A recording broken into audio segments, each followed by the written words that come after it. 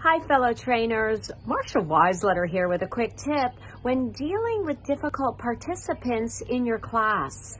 So let's say two people are having a sidebar conversation. What do you do? Well, we always start with subtle techniques. So I might move towards them or take a silent pause or one of my favorites, use one of their names in a sentence.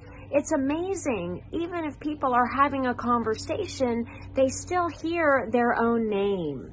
Now, if these subtle techniques don't work, well, then I would have a private one on one conversation, and it might sound something like this.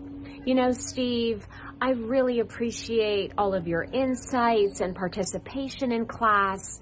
It's just that when there are these sidebar conversations, I get distracted. And it would help me if we could limit them to break. What are your thoughts? So you see, I'm not attacking anyone or putting anyone down. I'm being respectful and courteous, and that always does the trick. And that is my tip of the day.